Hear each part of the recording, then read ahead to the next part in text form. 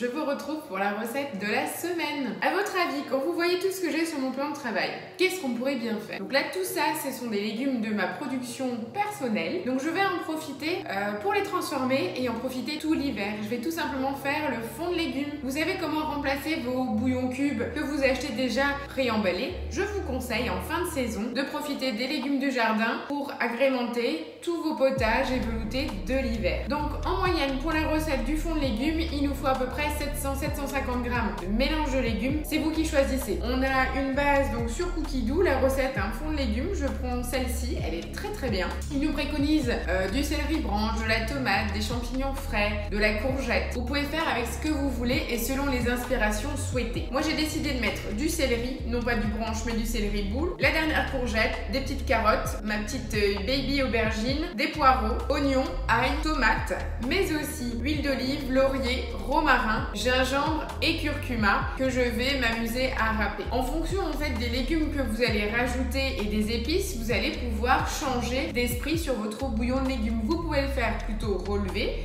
vous pouvez également rajouter du piment, du poivron si vous le voulez. Le faire en version classique ou plutôt sur des inspirations de taille en rajoutant de la ciboule, du gingembre. Voilà, vous pouvez vraiment faire comme vous le souhaitez. Pourquoi pas aussi mettre une cuillère de gnocchi ou de sauce soja. Voilà, qu'est-ce que ça va changer? Juste la couleur de votre fond de légumes. Voilà, et sur la même base, vous pouvez faire le fond de volaille que je vous conseille aussi euh, puissance 10 tellement que c'est exceptionnel au niveau aromatique. Un blanc de poulet quelques petits légumes et c'est parti. Allez, je vous montre tout ça en vidéo. Donc voilà, j'ai préparé l'ensemble de mes légumes. Donc je les ai bien brossés, lavés et épluchés. À savoir que là, vous avez mon petit récipient avec toutes les épluchures. Donc comme il s'agit en fait de mes légumes du jardin, je sais qu'ils ne sont pas traités 100% naturels, bio, comme vous le souhaitez. Et donc du coup, j'ai prévu de les mettre de côté. Cela n'ira pas au poule aujourd'hui, mais je vais tester une nouvelle recette pour utiliser les épluchures après les avoir déshydratées au four et les mixer. Donc ça sera un prochain tuto, une prochaine vidéo. Donc voilà, tous mes légumes sont prêts.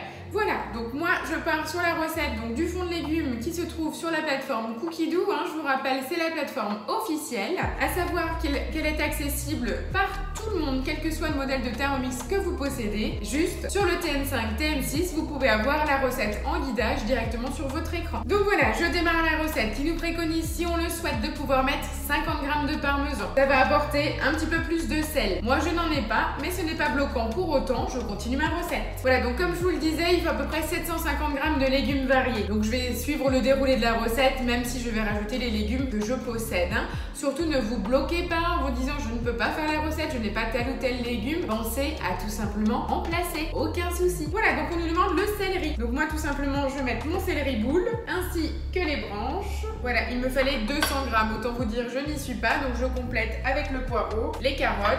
Voilà, pareil, on n'est pas au niveau du grammage, donc je vous complète avec les légumes que je possède. C'est juste pour vous montrer, je respecte le poids de la recette, mais vous faites le mix que vous Pourquoi on essaye de maintenir les mêmes quantités, enfin un grammage total, tout simplement pour avoir un résultat optimal au niveau de la cuisson? Puisque là, le fond de légumes qu'on va obtenir, ça va être une pâte que vous allez pouvoir servir avec une cuillère. Donc vraiment pour conserver la texture. Donc on nous demande de l'oignon, tac, on y est, les tomates, la courgette, les gousses d'ail. Donc pareil, si le gingembre vous n'en consommez pas régulièrement alors que le morceau de racine que vous allez acheter est relativement gros, pensez à l'éplucher en totalité et à trancher les petits morceaux que vous mettez au congélateur. Comme ça, vous le sortez au fur et à mesure. Sinon, une autre astuce, vous pouvez réaliser une pâte de gingembre. C'est-à-dire vous râpez la totalité de votre racine et vous la mettez dans un petit pot recouvert d'un filet d'huile d'olive qui vous permettra une conservation plus longue au frigo. Même principe que votre fond de légumes, vous prendrez une petite cuillère pour aromatiser l'ensemble de vos préparations. C'est plein de petites astuces que vous allez pouvoir mettre en place au fur et à mesure de vos cuissons, de vos préparations et du coup, c'est des recettes qui vont vous permettre d'éviter le gaspillage et d'avoir toujours tous les ingrédients aromates et épices. Donc là, on me demande encore 50 g de champignons. Donc moi, je vais remplacer par ma baby aubergine puisque comme ça, elle sera également utilisée donc vous voyez mon bol, là, il est vraiment bien bien rempli. À savoir que j'ai coupé les gros morceaux, mais vous allez très vite comprendre pourquoi on n'a pas besoin de s'embêter. On nous demande de rajouter du laurier. Donc moi je vais rajouter pareil, deux petites feuilles. Alors après, on vous préconise un mélange d'herbes fraîches. Moi malheureusement dans le jardin, il me reste plus grand chose. J'avais juste un tout petit peu de ciboulette. Donc je me suis dit, je change complètement. J'ai mon romarin que j'avais mixé de l'année dernière. Donc je vais en fait rajouter une pointe de romarin tout simplement. Et là, je vais également râper donc le curcuma. Voilà, donc mon bol est vraiment plein de mon mélange de légumes. On nous demande d'insérer le couvercle sans le gobelet doseur et d'insérer notre spatule puisque comme vous avez pu le voir, j'avais vraiment des gros bouts de légumes. Donc on va d'abord mixer rapidement pour faire tomber la masse et pour la réduire. Donc on part sur 10 secondes à la vitesse 7. Donc la spatule va nous aider justement à maintenir l'ensemble euh, des aliments sur l'axe pour être réduit en purée très rapidement. C'est parti Voilà, après 10 secondes de mixage, je reçois déjà le résultat d'une bouillie de légumes. Alors bien entendu, c'est totalement cru. Vous aviez bien vu que fait, avant de mixer, j'étais bien au-delà du petit repère max de ma quantité de bol. Donc là, je vous le répète, surtout ne dépassez pas ce niveau-là pour des règles de sécurité. Voilà, donc on nous demande de racler. Donc bien entendu, pensez à sortir le bol du socle pour pouvoir plus facilement travailler. Et surtout, si vous finissez par taper sur le bol, votre balance ne risquera rien. Allez, c'est parti, on continue. On nous demande de rajouter 120 g de gros sel. Ne prenez pas peur, effectivement c'est une grande quantité mais c'est ce qui va nous permettre la conservation. Du vin blanc, alors si jamais vous avez envie de faire votre bouillon sans alcool, vous mettez juste un tout petit peu d'eau, ça sera suffisant, il faut juste du liquide. Une cuillère à soupe d'huile d'olive, donc là, soit vous prenez une cuillère à soupe, soit vous pouvez tout simplement faire appel à votre balance et je vous rappelle qu'une cuillère à soupe c'est environ 20 g d'huile d'olive. Et on referme notre couvercle sans gobelet doseur, on va nous demander de poser le panier de cuisson tout le dessus. Pourquoi?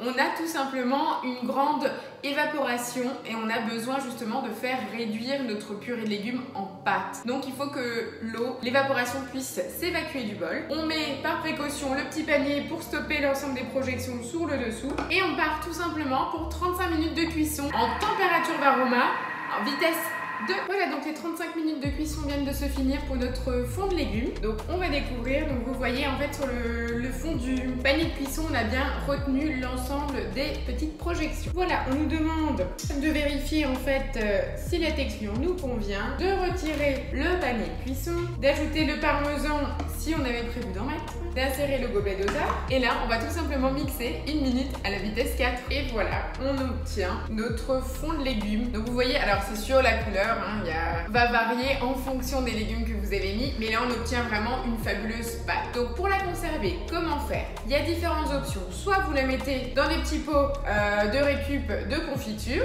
Moi j'ai choisi neutre parce que vous pouvez également personnaliser l'étiquette de votre pot et pourquoi pas le joindre dans un panier garni parce que moi je pars du principe offrir quelque chose d'utile à la famille, ça peut aussi être sympa plutôt que quelque chose d'éphémère et habituellement c'est toujours apprécié quand en plus c'est fait maison. Donc vous avez version petit pot. Donc bien sûr, vous faites le même euh, principe que pour la confiture. On remplit à ras, on ferme le couvercle et on met à l'envers pour refroidir. Ou alors, vous avez un énorme bac à glaçons où vous allez pouvoir mouler votre pâte et la mettre au congélateur. Une fois les glaçons pris, vous allez pouvoir les mettre dans un sac de congélation. N'oubliez pas de noter qu'il s'agit d'un bouillon de légumes. Moi, j'opte plus pour le vert et je note au marqueur sur le couvercle bouillon de légumes. On peut pas se tromper. Chacun a sa solution, ses choix, ce qui vous correspond. Voilà, bah, la recette est terminée. Je vais mettre en pot et je suis tranquille pour passer l'hiver en toute euh, sérénité avec mon bouillon, mon fond de légumes, pardon, maison. Alors j'attends vos retours, j'espère que ça vous donne envie de tester. Vous voyez bien, c'est 100% naturel, aucun additif, les sels conservateurs, c'est les petites gouttes de vin blanc, mais surtout la grande quantité de gros sel.